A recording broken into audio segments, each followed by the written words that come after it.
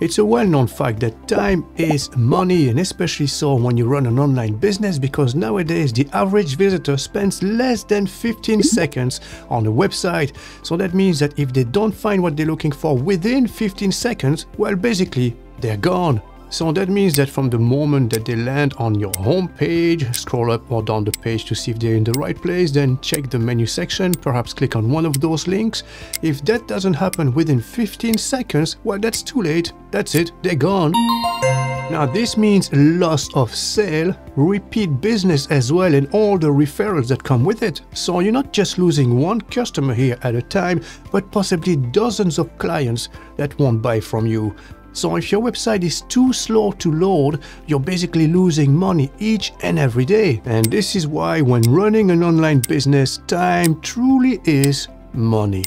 So today I'm bringing you the ultimate solution when it comes to hosting providers. Now let me introduce you to the fastest WordPress hosting provider ever and that is, drumroll, WPX. And that's not just a bold claim that they're making themselves, not at all. So as you can see here, WPX won all global speed tested categories in Independent Testing 2022. So if you click on this link, it will open up a new page, which is this one here. And as you can see, this is an independent peer review. So this is reliable source, obviously, you know. And as you can see, they won in 2019, 2020, 2021, and also in 2022. And in three different categories, as you can can see below 25 US dollars, between 25 and 50 dollars, and below 100 dollars. So all together, they are the all-round winner for 2022 as well. So who took part in that competition? Were they big names, big companies, or they all just unknown hosting companies, you might think? Well, let's have a quick look. If we scroll down the page here, the under 25 we had, for instance, GoDaddy, DreamHost, Cloudways, InMotion Hosting, SiteGround. So these are all big names of the hosting industry. So they were not competing against small companies or newcomers or anything like this. No, not at all. So as you can see, these are all big names, big players in the industry. So if we scroll down the page, as you can see, these are the results. So WPX.net 0.21 of a second, and it goes down right up to over a second for WP Cycle, Vapor Host, SiteGround almost to a full second as well. So as you can see, number one on the list here again is WPX.net. So let's scroll down the page a little bit again and let's have a look at the 25 up to $50 category now.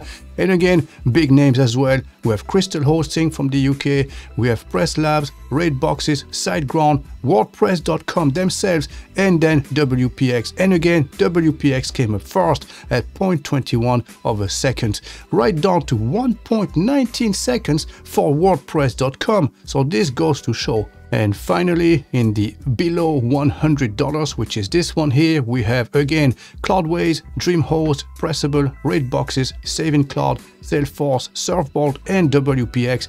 And once more, who's first? WPX.net with 0.21 of a second. So again, this is an independently peered review here. This is, this is not them claiming to be the fastest, the best, or anything like this. This is an actual third-party review taking into consideration the biggest names in the industry. Okay, very good. So WPX is a hosting company that specializes in WordPress hosting.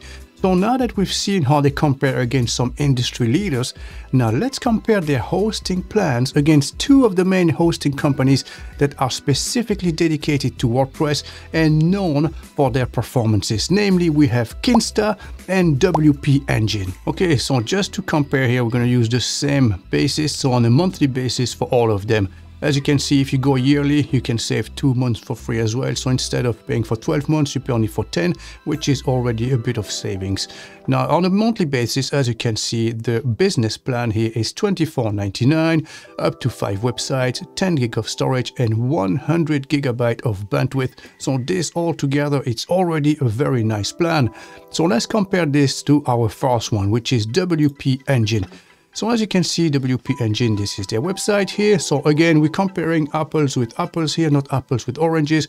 Again, we're going to base this on the monthly and in US dollars, okay?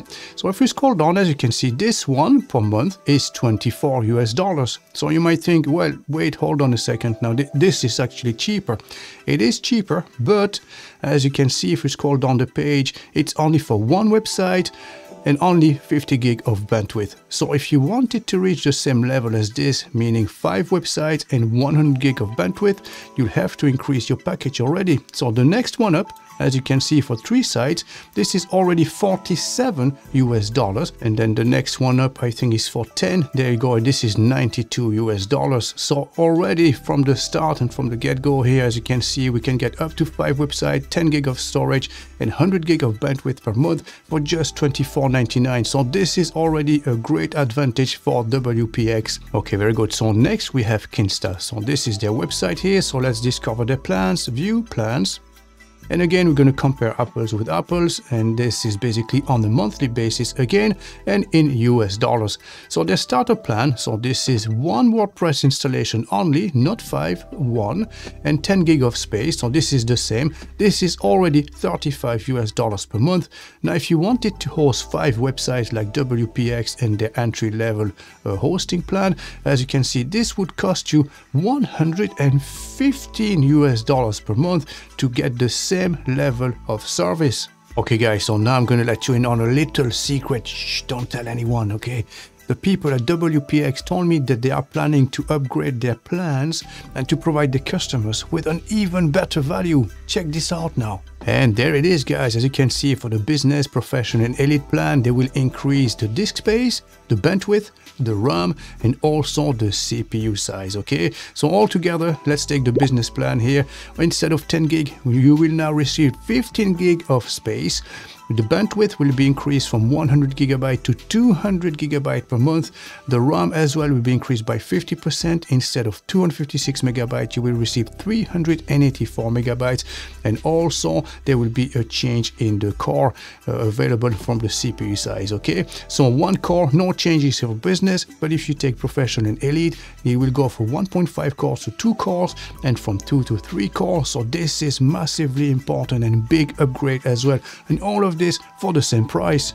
Okay, now that we've seen how they stack up against the competition, let's see for ourselves if their hosting is easy to use and also let's test their support team as well because if you decide to move over to WPX, we hope that at least it's a user-friendly and not too complicated platform to use. Okay, so let's find out. Okay, so we're back to the WPX.net website and as you can see here they claim that our WordPress experts will move your websites to us within 24 hours and all of this for free. So if you have a hosting at the moment with uh, maybe one or two or more websites hosted on them, well, basically they're going to move all of these websites for you for free within 24 hours. So this is very handy indeed, especially if you are of the non-techie type. But even if you are an expert uh, in that matter, it's always handy to know that someone can be there looking after you and taking care of this for you. Okay, so if you scroll down the page again, we have a few different advantages here. As you can see, they offer you as well free site speed optimization,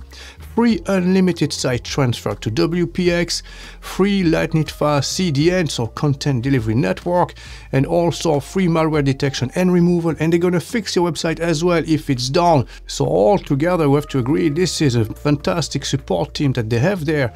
And so much so, they claim that they have a 30 seconds average support response. So you know what? Let's put this to the test. Let's go and ask them a question, a simple question, and see how long it's going to take them to actually get back to us. So let's put this to the test now. Okay, very good. So let me remove myself. We're going to use this uh, chat box here. So let's click on this and let's ask them a question. So my name is David. I'm going to put my email address. There you go. Let's start the chat. So let's see now. I'm just going to ask them a simple question. Let's put this one here. So I'm planning to move my website over to you. At the moment we have HPanel with Hostinger. Can you move our websites over for us? How long would that take? So there you go. We started uh, the inquiry here and they claim that normally it wouldn't take more than 30 seconds. That's the average response time. So what I'll do, I'll probably put a timer here uh, as we edit and just to show how long it's going to take. So there you go. We got an answer already. That was very fast, wasn't it? So their claims stand true, you know, as you can see. There you go. Hi there. Theodore is replying already. That was quick, guys. Wow. So it is true, you know, 30 seconds average support response time. This is this is true. So let's see uh, how they're gonna handle the query now. It looks like Theodore is typing a little bit and then he says the answer is yes, we will be able to migrate your website from Hostinger to us. In order to migrate your website to our server, we uh, we will need to to send us a migration form first. So this is basically it, you know. So I suppose if I click on this now, this is going to open a new tab and I have all the details here. So let me zoom in very quickly. There you go. So let me close this for now. There you go. So I want to migrate my site to WPX. How can I start the migration? So we have a few guidelines here, obviously, you know, and they will help us with that. So let's go back here. And now let's discover the backend, basically your account. Once you've registered with them, you can log in and then access the account. And let me show you how this works. Okay, so basically we go to login. So again, as I said, I've already registered with them. So all you need is your email address and the password that you use at registration and then click login. There you go. So this is basically your main dashboard. Okay, so as you can see, this is your main hosting, the one we created from MrWebReviews.com. And as you can see, this one is active. Okay, and as you can see, I went ahead with the business plan at 24.99 US dollars per month. So now to access your backend and all the tools uh, required to tweak and customize your hosting and basically install WordPress and all of that, you all you have to do is click on this here, manage service. So let's click on this. And again, it's all about simplicity of use. As you can see by the side, everything is laid out in a logical, chronological manner. So first, you want to know about your service details. So this is basically what we have here with the billing details, server detail, usage, and that's basically it. And then after this, what you want to do, well, technically you want to manage your website. So either install WordPress or maybe import it, okay? So this is the next step. So we click on managed websites, there you go. So as you can see this is our main website mrwebreviews.com and as you can see you can manage wordpress or you can start a migration as well. So either way you can do this immediately from here. So to install wordpress all you have to do is to click on manage wordpress. There you go. And then we have our screen here. Okay. So install wordpress on website or install wordpress in a subdirectory. So usually you're going to use the main folder your html folder. So click on this one and then from here, you're going to select the database. So that's created by default already for you. Make sure your admin email is correct. And then you can create a username. So something hard to guess, I suppose, you know, a mixture of uh, letters and numbers. And then you can create a password. So usually you're going to suggest a password. If you're using Google Chrome, that's going to done, or be done automatically. Or you can click on this generate password. Either way is fine. And then we can then install WordPress.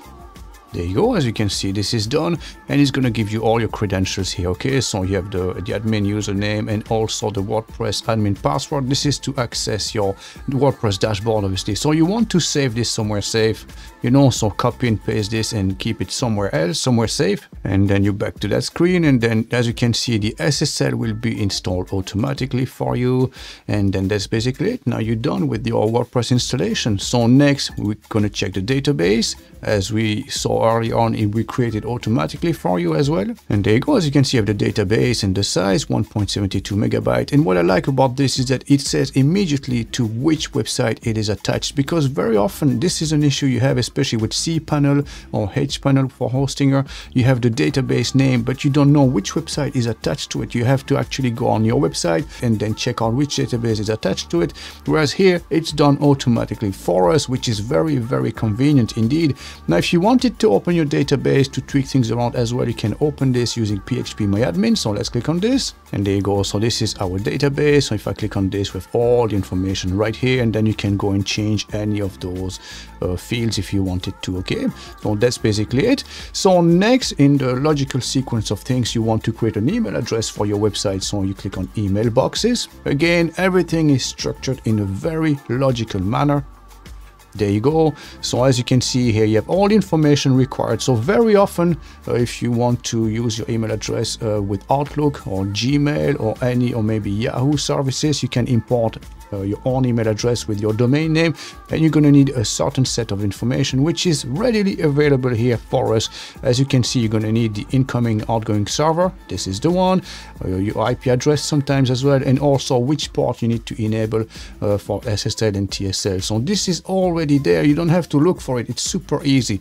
And to create an email address all you have to do is click add an email uh, box. There you go. And then fill out those details basically. Okay so let's do this very quickly. So perhaps something like this. You know it could be sales at mrwebreviews.com it's asking for your real name so david Gray, and then scroll down here and then you have the password. That's basically it you know and then click submit. And this is how you can easily create just an email address for your own domain name and there you go. As you can see, we get a confirmation email box sales at Mr. Web Reviews was created. So that's basically it. And there it is. And you can see your quota as well. You know uh, how big and how much uh, space you're using at the moment. So next we have the FTP user. So if you want to access your website using maybe FileZilla or something like this, you know, maybe you have a developer uh, working on your website, they will need uh, to create an FTP user in order to access the server.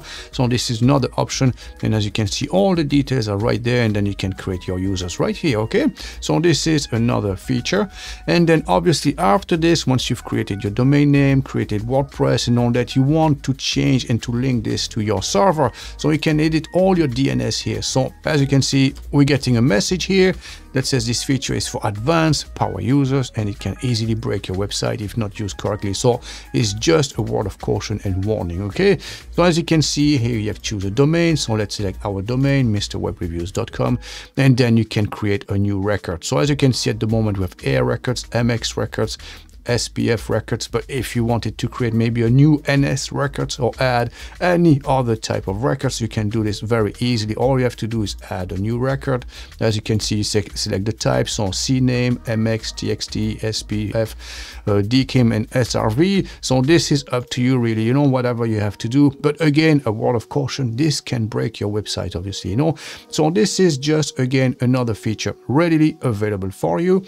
Now, if you want to access the files on your server without using an FTP client, you can go here, File Manager, open File Manager, and there you go, as you can see, we have access to our website now immediately from here. So we go into public HTML, and this is all our WordPress installation. As you can see, WP admin, WP content, and WP includes. And maybe you want to change something on your htaccess file, or maybe WP config.php, whichever it is, you know. And then you can copy files, download files, or whatever you want to do, uh, basically, you know, the same way you would do with a, an FTP server. Okay, so that's basically it.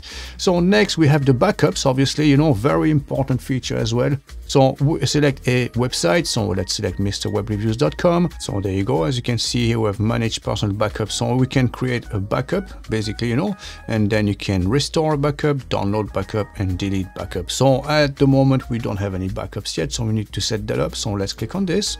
So now these are partial backup. It's slightly different. You know, as you can see, partial backups are custom manual backups of your website that are kept for 24 hours only. So here's the thing, okay? Remember that WPX hosting creates automatic daily backups for all your website for the previous 28 days. So you don't actually have to run any backups manually yourself unless you really want to, okay? And if you wanted to, I just click yes, I want to create my backup, okay? So I'm just going to decline for now. So again, a very important feature here, backups are being made and created for you automatically every single day for the past 28 days. So you don't have to worry about anything. All is done for you already. Okay, so last we have WPX Cloud, and this section basically is all related to content delivery networks or CDN. So what is a CDN? Well, basically it's your website being copied on several servers worldwide and basically, if anyone is coming from any part of the world, so if someone is based in the UK, they will redirect them to the nearest server, which is located in the UK. If, so, if it's someone from America, they will redirect them to the nearest server in the United States. So that way, your website will always load in the fastest possible manner.